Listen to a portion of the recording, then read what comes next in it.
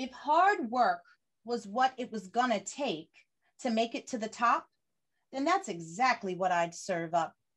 Black girl, mixed with grit, stardust, spice, magic. Sylvia and me. Sylvia and Sylvia and me. Sylvia, Sylvia. Hi, I'm Sylvia Beckerman, host of the podcast series Sylvia and Me conversations with extraordinary, inspiring women. Uh, hi, everyone. My name is Tami Charles. I am an author, and my newest book is Muted, a YA novel in verse. I've also written picture books and middle grade novels as well. And welcome to Sylvia and me. Tami, thank you so much for joining me here today. And as you said, you are an author. You were also an educator. Yes. And you're a mom. Your son now is 11, Christopher. And you mentioned a couple of books. Um, one, of course, we'll talk about uh, your newest book, Muted. But I wanted to briefly um, talk about All Because You Matter. And that was a picture book. Yes. Can you give a very, you know, just a short, yes, um, it's uh, it's a love story in, in a lot of ways, but why did you write this book? I I didn't want to. that's that's the ticket. Um it was the need to have this conversation with my son uh, sparked by tough questions that I noticed that he was asking me as he got older. So I think, like all parents, when they have a child, they just want to keep their child little forever and innocent and precious. And I tried, I really tried, but time doesn't wait for anyone. My son entered school, he entered kindergarten, he met kids from all over, which was wonderful and it still is very wonderful. Uh, but there were some things that he experienced and things that he learned. And I remember one of his first tough questions for me as a kindergartner was when he learned about Dr. King. And he came home and he said, Mom, if if Dr. King was such a good guy and he wanted peace for everyone, why did the bad guys hurt him? so that's a tough question to ask. I believe your son was yeah. quite young at that time. Five, and I was just like, uh. so that that really kicked off a series of questions that I gradually realized. Okay, my son is is starting to notice a pattern here. He's noticing uh, injustice against people of color, people who very much look like him. So, how do I have these difficult yet necessary conversations with him? Well, I need to do it in a way that affirms his worth. And what better way than to write him uh, a lullaby almost, uh, an anthem to remind him that he matters and that he mattered before he even got here. And in writing this book, I have to say, I thought I was writing it just for my son, but it it became so much bigger than that. So it started off as a seed, planting a seed for my son. And then I realized children of color, children from marginalized backgrounds, this is a message that they too can benefit from. Yeah. And then the kicker was this wait, all children can, no That's matter right. the background. Um, why? Well, because no matter walk, no matter what walk of life you come from, it's important for our kids to know what kindness and respect looks like because they'll be the ones taking over. We're not going to be here for long. It, they're going to take over the world and they need to, to lead with empathy and kindness. So all because you matter is that love song. It is that anthem for children who need that message the most. You matter.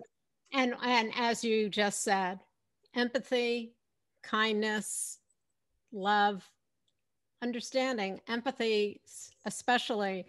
And yes, I understand that you did start out to write this for your son and then you figured it was great for children of color, marginalized children and then yes, it, it is a book for all children.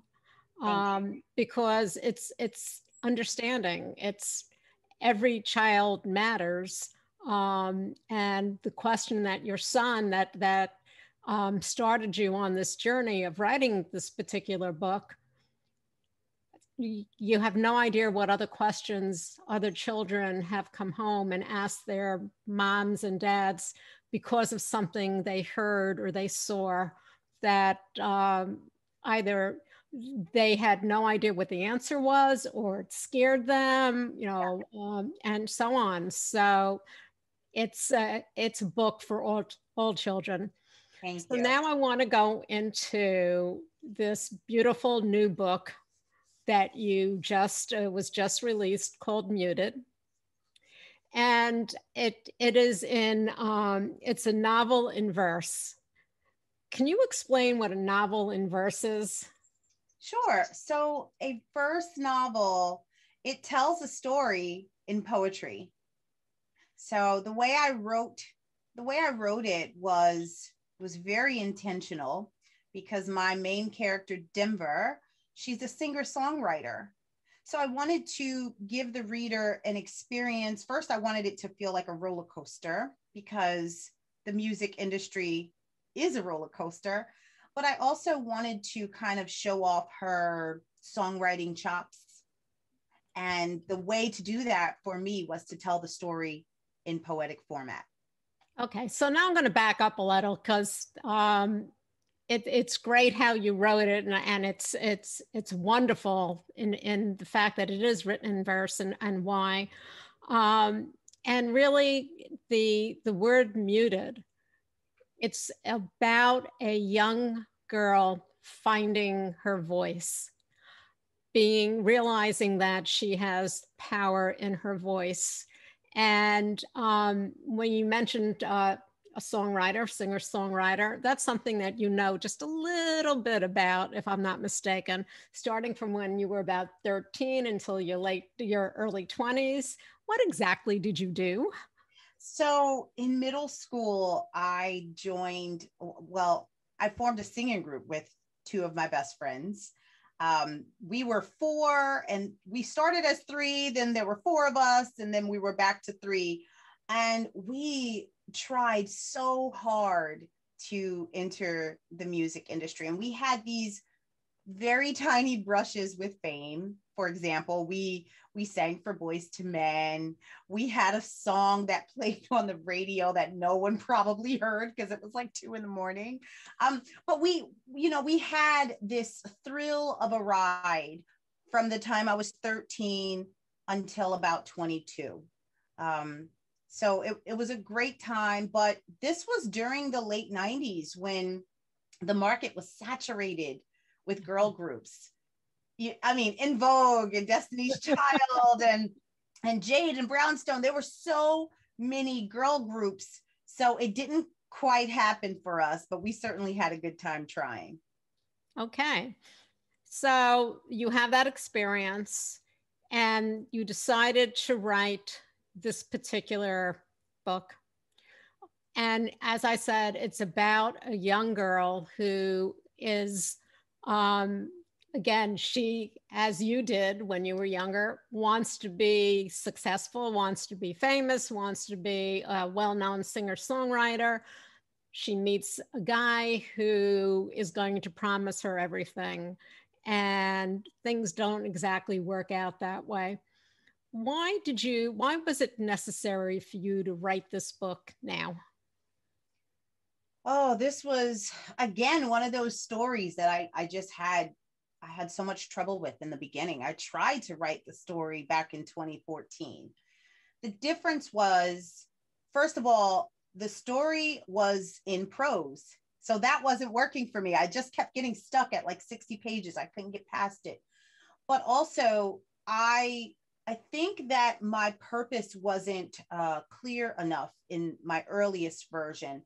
Yes, there was this girl who had stars in her eyes and wanted to be a star, retelling the story of how she came close but didn't quite make it um, on a plane ride home. That all stayed. But in the beginning, that character wanted to be a singer, dancer, like any and everything in the entertainment industry what happened between me getting stuck, writer's block, Okay. and through the years, I would always think about this character. I would, I would always think about this story. And then I started to notice these headlines that were creeping up stories of women who were essentially being taken advantage of in the workplace by men in power. And then there were documentaries. And what I noticed, and if I if I may share Of a few course. statistics, because I Yes. I have yet to share these. no, I want I want you to. but um so what I, what I found was this in my research. Um, the Bureau of Labor Statistics show that 70 uh, 71% of workplace violence uh, that was the percentage of females who experience workplace violence.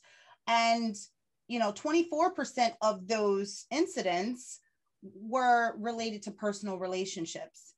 And three out of four of those incidents of abuse they went unreported. Now you take all of that obviously they they went unreported because these women feared retaliation or they just believed that no one would believe them including law enforcement. But what i wanted to cover in muted was more complex than that. And that is putting a lens on specifically the music industry which i was a part of. Yeah. and ex- and especially the treatment of black and brown girls women and girls. Like we don't talk about that enough. And there was a documentary that did and i was very inspired by it and it got me thinking you know yeah my singing group we we had our moments but what if we had come across an epstein a weinstein a kelly? You know what if what would have happened to us then? Once i once that light bulb hit i was off to the races with this story. And it really just poured from there. I think authors we we put a piece of ourselves in everything that we write and that's what was missing from my earlier version. I needed to just focus on singing and that's a world that i knew. And knew quite well, um, especially starting from such a young age. And you know the, what you have written um, is so touching and and so real because this young girl, she's a teenager. You know, teenagers are looked upon as being very naive. They, they'll believe what they want to believe. They'll hear what they want to hear. Um, and if somebody says, hey, fame is around the corner, there are so many that are just taken in. Like the old story, uh, probably way before your time, but you taught your kids.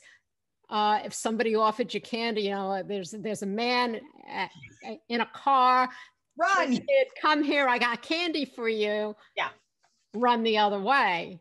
And here it's about the same thing. Um, the antagonist is is dangling candy in front of uh, Denver's face.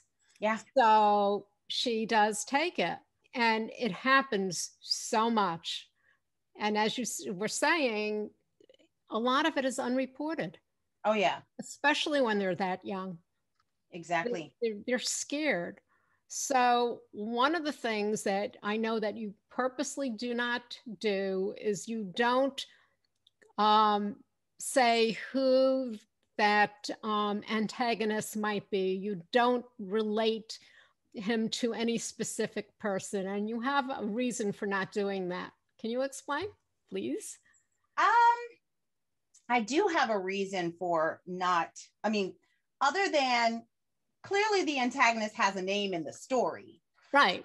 right? But outside of that, like giving my antagonist a specific uh name or like pinpointing who specifically that is, the reason why I won't do that is because the men who do these hideous acts, I don't think they deserve the attention.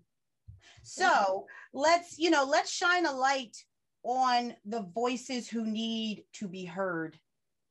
Because these men, these men in power, uh, with all of the money and the resources to make people go away, to make stories go away, they don't deserve their names to even be spoken.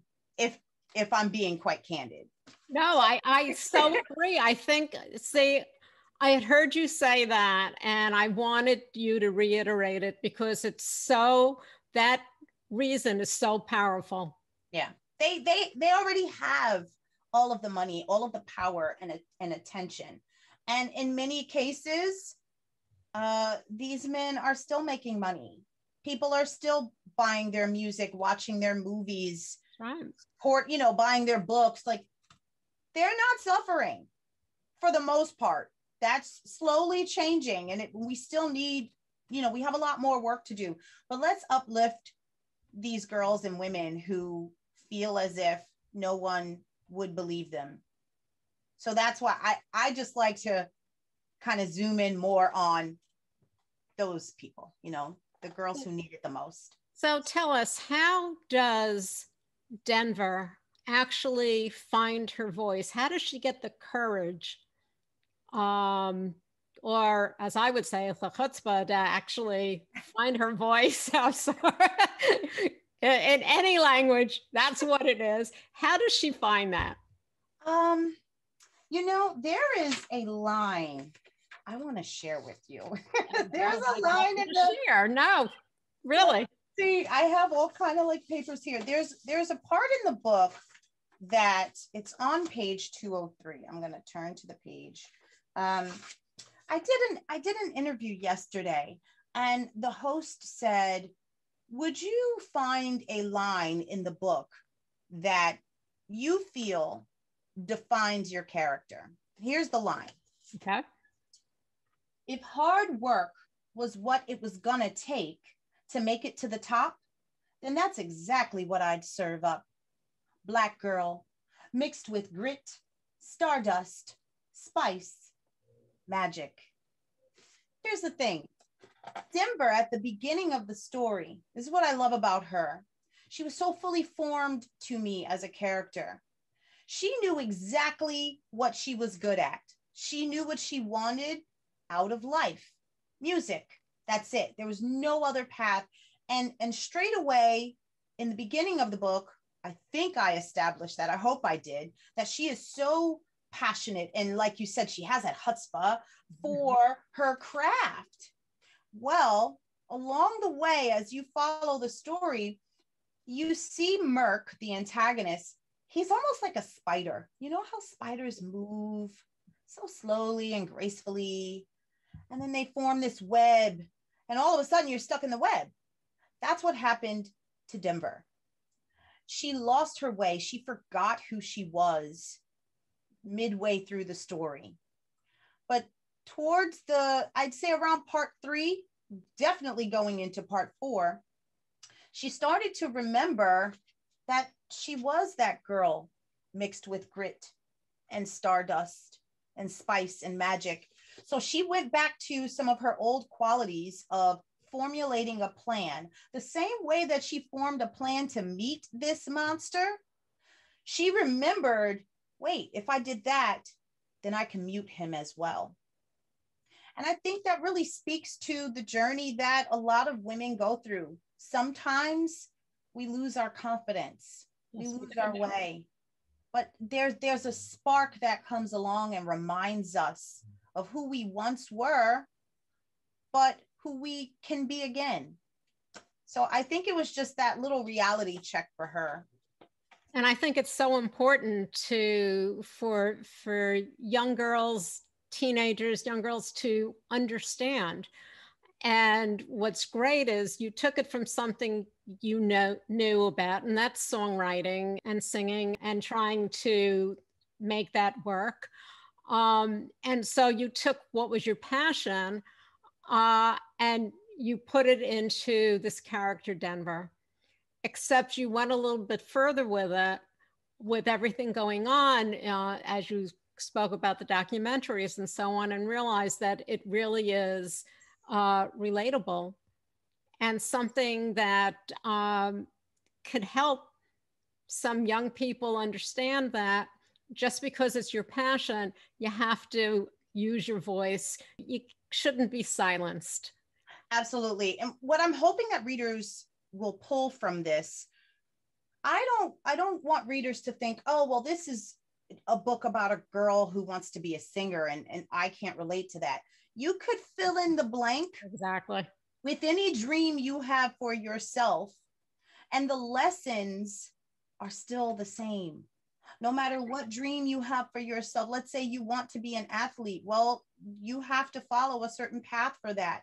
And along the way, you have to make sure that you're surrounding yourself. I call that your village. You surround yourself with people who will uplift you and who care for you. Listen to your loved ones. They are wise and and they'll speak from the heart and there's always going to be someone along the way who whispers in your ear and tries to strip at, at your confidence and try to make you think twice about your your power.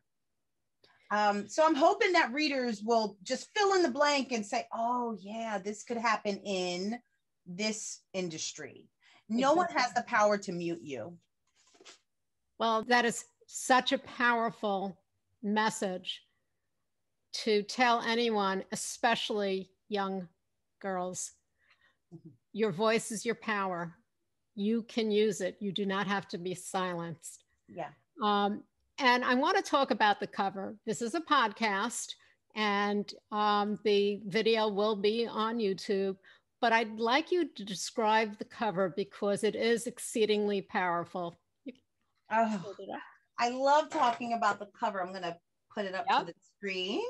Uh, if you if you look really deep, you can see that the main character, that's Denver, she has two different colored eyes. Now, I did that intentionally. Uh, she has a condition called heterochromia. And for me, I just thought it would be such uh, a metaphor if each color of her eye could represent a theme in the story.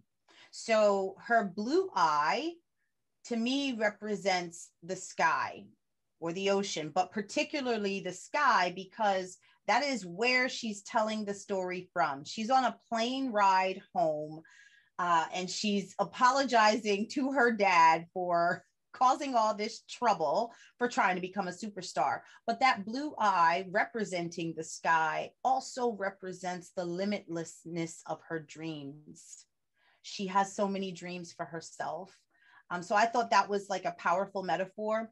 But her other eye, which is brown, to me, that that's earth, it's soil, it's rich, it's it's home. And that's where she's going. She's on a plane ride and she's going home.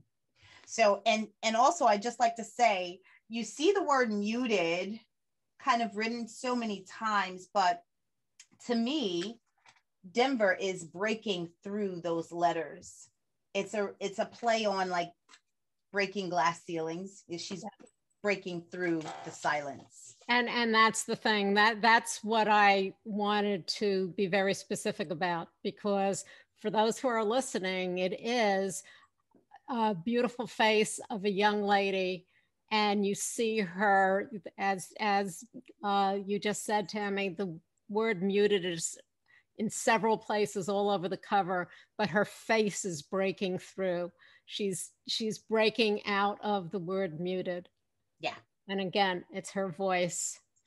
So, with everything else, you know, the documentaries and so on going on, what are what have you been reading, or maybe even um, watching? But what have you been reading that kind of uh, relates to the same topic? Oh, I did I did a lot of reading and watching television to to help me through this. Um, let's see. Well, this was two years ago, so let me see. I read a lot of poetry by Rupi Kaur. Have you ever heard of her? Uh, she's a. I want to say she's an Indian Canadian poet. Okay. And um, she's she's written some amazing poetry, like Milk and Honey is my favorite. Um, she tells a story in in so few words so I really used her poetry to guide me and kind of help me with my own. I read a lot of uh, work by Margarita Engle. She's a Cuban American poet. In fact, she mentored me through this book. Like she specializes in verse. Uh, so that was really amazing. I read Long Way Down by Jason Reynolds, and that's told in verse as well. I like the structure of that book because it it kind of mirrors what I did with Muted in that it really takes place Muted takes place on an airplane ride home. Long Way Down takes place on an elevator ride down. So it's a retelling of a story on a 60 second elevator ride. So I just thought that was genius. Um, I did read, well, I reread 13 Reasons Why, yet another story with very heavy themes, but it also is a story that's kind of retold in one day. Um, and of course, I watched the documentaries and lots of news. So, and the other thing that, that you did was you did the um, audio version.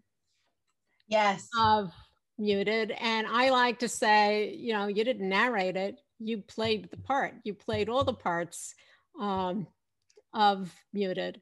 So, how did that feel? I felt like a teenager all over again. um, it was it was really like reliving my teenage dreams. And if I'm being honest, when I wrote the book, I wrote the book. Um, well, I started it seven years ago, and then I really like right out the gate in 2019. I, I hit 2019 running, um, and I wrote the songs then, but I never had any intention to do anything with the songs. I just wrote the lyrics. You know, I didn't know how the songs went or anything. And then the pandemic hit uh, last year, obviously. And over the summer, I was asked, Hey, can you narrate this thing? And I was like, oh, there's songs. I think I'm going to have to figure out how these songs go. so, so I actually went to Shohola, which is where my parents live, and I pulled a Denver. I sat in my parents' basement, just like Denver sits in the basement, and I wrote the melodies to these songs. And then, so, so cool, I got to actually sing the songs, act out the parts, you know, have fun with the different accents and of the different characters. I really put my all into it and it just brought back a lot of memories from my my days of being a singer. That's fantastic. And you're helping, as we said, and it, it's worth repeating, young girls um, to find their voice, to yeah. keep that in mind. So, what's next up for you? What do you?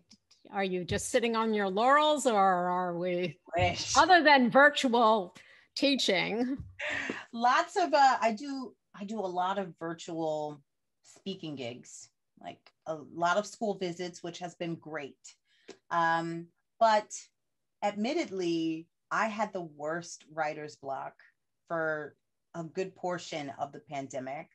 Um, I am just starting to find my voice again. So um, I'm working on some picture books and I am mapping out what I hope to be a novel. So stay tuned. oh, most definitely. Tami, I thank you so much. Um, where can people find out more about you? Sure. I am on Twitter at Tami Writes Stuff. I'm on Instagram at Tami Writes, and my website is tamiwrites.com, and that's T A M I, Tami Writes. Again, thank you so much for taking the time and, and uh, telling this great story and a, a fantastic book. Thank you so much. You can find us on all of your popular podcast platforms, and of course, our website, sylviame.com. Stay safe, stay healthy, and stay tuned.